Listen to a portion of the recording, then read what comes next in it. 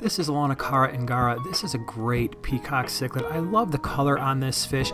You can see that blue fading into that nice yellow and orange. This is a great fish if you're into African cichlids.